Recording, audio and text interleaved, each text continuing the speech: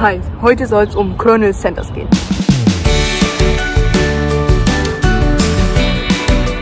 Colonel Sanders ist 1890 geboren. Sein Vater starb, als er sechs war. Deswegen musste er für seine jüngeren Geschwister kochen. Er machte unterschiedliche Jobs. Heizer bei der Eisenbahn, Versicherungsmakler in der US-Armee und er führte sogar ein eigenes Tankstellenrestaurant. Als er 62 war, müsst ihr euch vorstellen, fiel ihm ein, dass er, er wollte zur Rente gehen. Und ihm fiel ein, dass er zu wenig Rente bekommen hat.